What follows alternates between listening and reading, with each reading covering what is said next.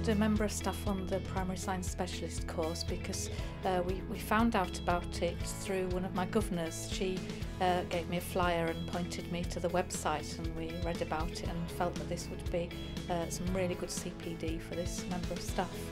I think the most important thing that I've learnt on the, the course is to do with subject knowledge. I think I've gone from being reasonably confident to realising that actually that was misplaced confidence and then that's then come back up with a lot more knowledge and that's been really really helpful in terms of being able to teach the science much more confidently and address children's misconceptions much more effectively because my own knowledge is significantly improved and also enables me to help other teachers to deal with those same areas.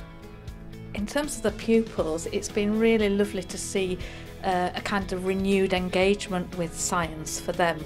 They've particularly enjoyed the practical activities particularly enjoyed anything that's um, involved getting slightly dirty or being outside um, and just really enthused about uh, about everything that Joe's done with them talking to the other pupils in the parallel class who I have to admit have been have been a little bit jealous of what's been going on. Science is one of my favourite subjects because you get a lot of freedom in it. You're not just filling in a worksheet, you get to actually see the effects of things. My favourite part of science is um, when you see the effects of um, what you have done and you can see maybe is was it a fair test was it not what could we do to make it more fair next time I think what's been really good about the course is it's taught you how to do things, but then also and made sure that you do actually do them. The new skills that Joe has, he's disseminating to the rest of our staff on a very regular basis. There's also lots of really informal discussions going on. When I pop into the staff room, playtimes and lunchtimes, I often hear them talking about you know what Joe's been doing and uh, what he's been doing with his class in particular. So there's lots of that very informal learning going on.